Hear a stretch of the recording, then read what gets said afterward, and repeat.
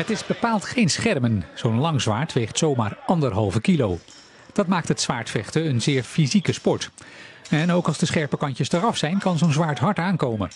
Zodra je je tegenstander raakt, wordt het spel stilgelegd voor de puntentelling. De vechter, als hij goed sco- kan scoren, dan krijgt hij natuurlijk zijn punten. Ehm, hoofdhits en torso-hits, die, die, nou ja, vanzelfsprekend die leveren de meeste hits op. Vooral als je dan in principe denkt van, nou, hoe zou het geweest zijn met een echt duel? Nou ja, dan zijn het die hits die de meeste punten opleveren. Er is wel een jury die dat beoordeelt en kijkt van, eh, of er sprake is van een goede hit. De sport is nog heel jong in Nederland.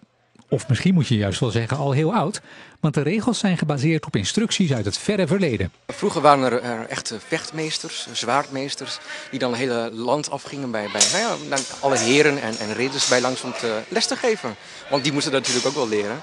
Ehm, gelukkig was het wel zo dat vele zwaardmeesters eh, ook het een en ander hebben genoteerd, opgeschreven. En zulke manuscripten zijn aan ons eh, gelukkig nog opgeleverd. In Oegstgeest is sinds vier jaar een school voor het zwaardvechten, onder de naam Historisch Vrijvechten Nederland. En waarom word je daar dan lid van? Nou, dat wil, wil iedereen toch, denk ik. Alle jongens. Ja. Dus Als je jong bent. zo gauw ik op kamers ging en in Leiden kwam wonen, ben ik, woonde ik eindelijk in de grote stad. En toen kon ik op zoek gaan naar zo'n hobby. Ik ben een keer meegekomen met een vriendin eh, en ik studeer geschiedenis, dus het is altijd wel iets van mij geweest. Ik ben meegekomen en zij is weer weggegaan en ik ben gebleven. Ga je zo'n gevecht in met een tactiek, of- afhankelijk van de tegenstander misschien ook wel? Ja, ja, zeker. Tegenstanders verschillen onderling enorm. En er zijn ook heel veel technieken die tegen andere technieken werken. En eh, ja, het is dus ook een soort puzzel die je moet oplossen aan het begin. En hoe leuk is het nou dat er eindelijk een Nederlands kampioenschap is?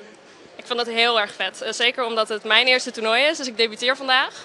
Eh, en dat gaat beter dan verwacht. Ik vind het heel leuk om eh, te laten zien aan Nederland dat, we, dat wij ook bestaan.